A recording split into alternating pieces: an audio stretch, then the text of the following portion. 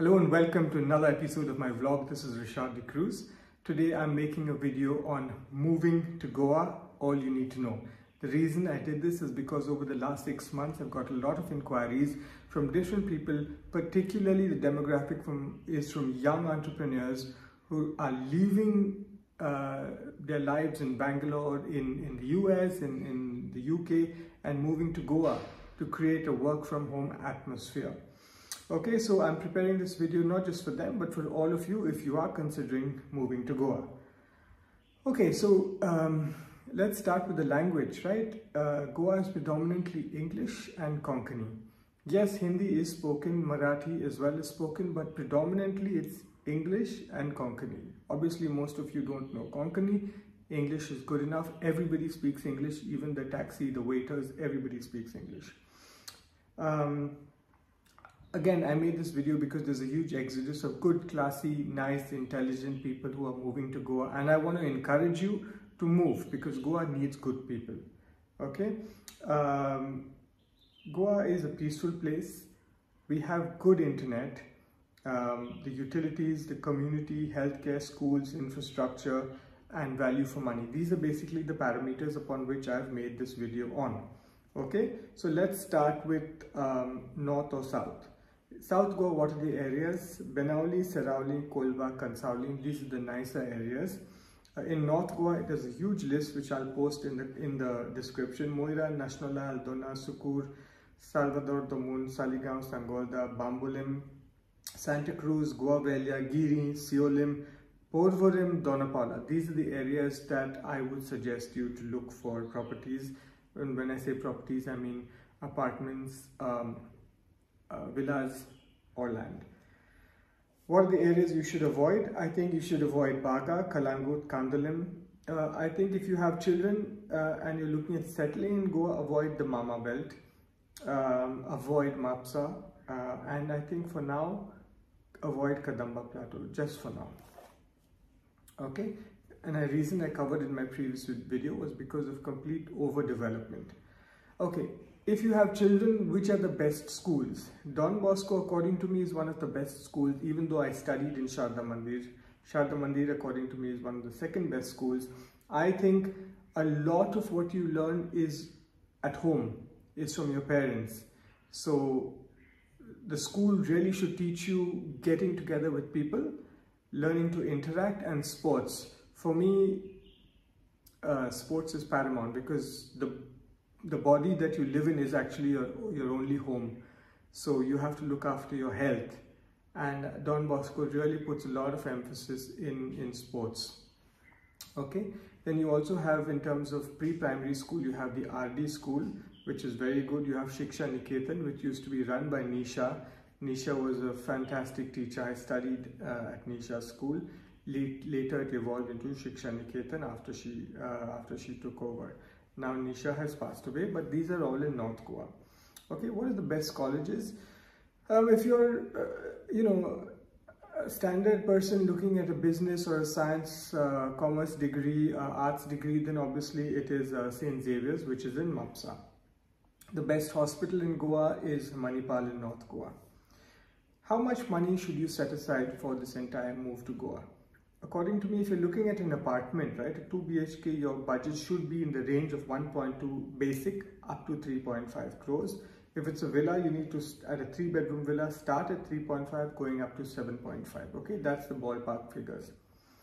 Who are the best internet providers? Like I use a G-Wave. Uh, there's a guy called Merv Brito. He, he um, does a fantastic job. What he does is he you just call them they come they check if the the net is the, they can pull the wires to your flat or to your house and they set it up in a matter of hours. Then you've got g-wave you've got D, dna and you've got infinite infinite right? Roughly i pay about 1200 rupees a month and i stream my netflix and whatever. Transport see goa the taxis are ridiculously expensive they're overpriced so you need a car okay um, if you want to do shopping, etc., there are the malls. Uh, Porvorim has a wonderful mall called Mall de Goa. Mapsa has no mall. It has a horrible, dirty market, but you can get everything you want over there. Panjim also has an equally dirty market, which you can get everything from. uh, but you have also Caculo Mall and you have a lot of grocery shops. You can Swiggy things. Uh, you've got Magsons, which is really a blessing. You've got Delfino Supermarket, again a blessing. But these guys are based uh, only in Porvorim. Uh, in Panjim, they do have outlets in South and they have in uh, Candolim. Okay, so now, see, I'm guys, I'm just rushing through this because there's so much to cover. Okay, so according to me, who are the best developers? Of 2022, I'd say the best developer would be Isprava because of the fact that they delivered and they have great um, design and of course Aldea de Goa. Uh, the apartments, hands down, Aldea de Goa, low rise, low density, lots of facilities, amenities, capital appreciation, rental value, safety, security. These are my parameters. Okay. Now, when you move to Goa, what do you do for work? Let's assume one of the partners is working, one is not or both of you are not, what do you do for work? Look, if you're thinking you're going to get a job in Goa, it's out of the question. For some reason, Goan entrepreneurs pay peanuts to their staff. They don't want to pay. They make a lot of money, they don't want to pay. I don't know what it is, but jobs here are very poorly paying. That's why most Goans leave. They take their Portuguese passports and go abroad. Okay, so very low salaries. Business, of course, you can do business. You can work from home for uh, you can also work with a national or an international MNC etc and you can work from home off the internet you could open a cafe business you could open a restaurant business you could do tuitions you could uh, maybe you're a gamer you play uh, poker in the casino you know all these options are uh, are available.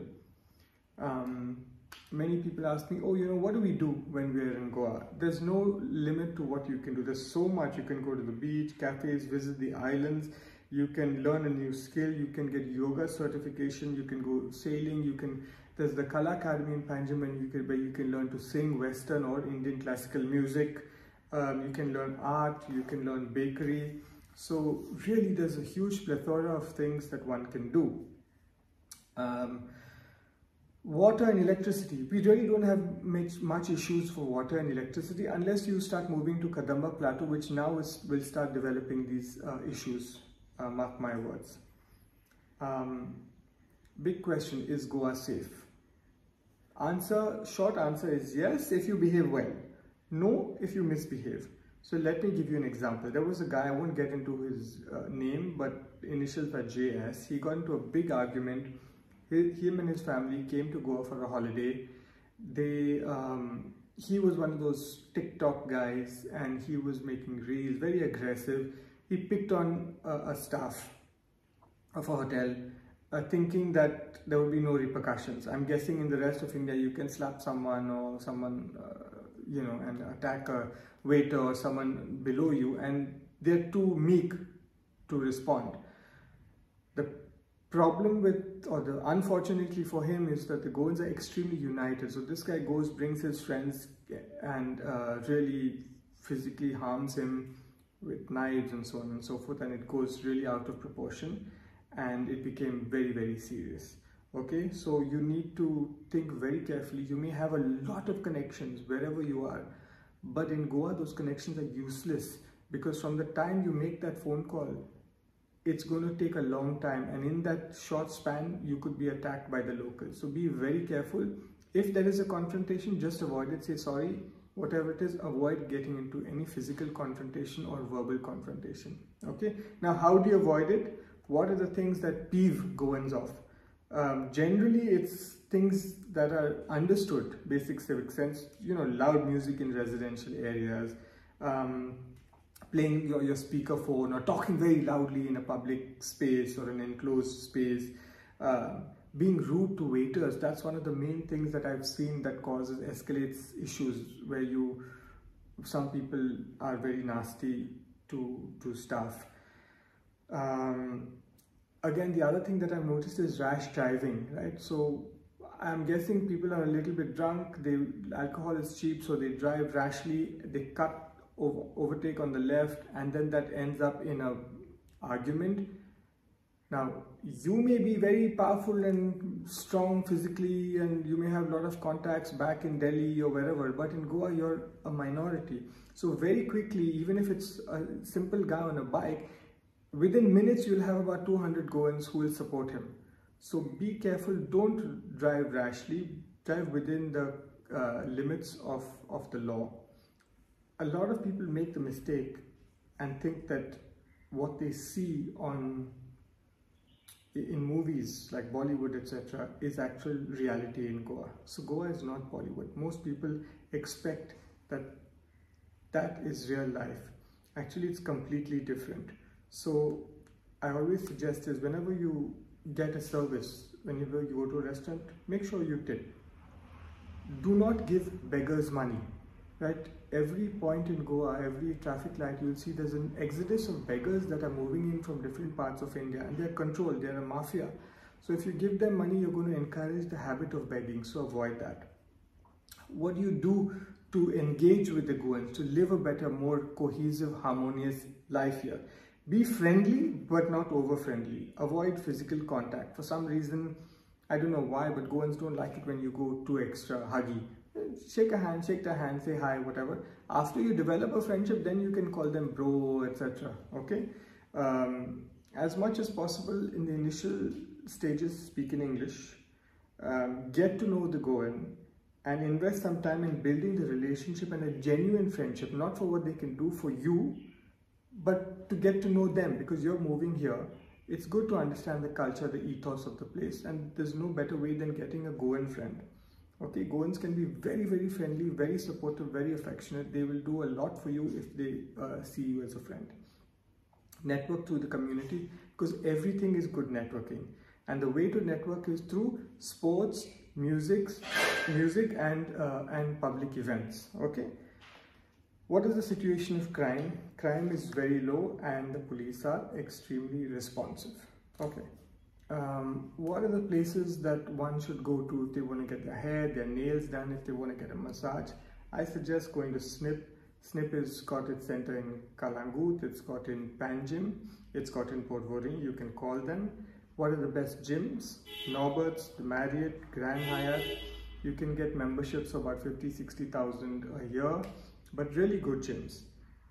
The big challenge again in Goa is getting domestic help. Uh, Goa is a predominantly non-veg culture and society. So most of the staff here eat meat and they cook meat. So you, if you're a vegetarian, you'll find it difficult. Um, so to summarize this entire video, I say Goa is generally a happier place. The quality of life is much better than the rest of India maybe the rest of the world. Clean air, good food, good people. Um, Christmas and New Year is a wonderful time to celebrate, particularly in South Goa. Um, I welcome you to Goa. I want to see good people come. I want to see beautiful buildings built. I want to see great businesses. I want to see good relationships.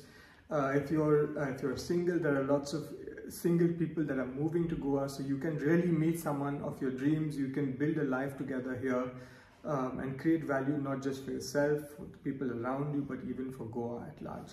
So thank you for watching my videos. I really appreciate it. See you in Goa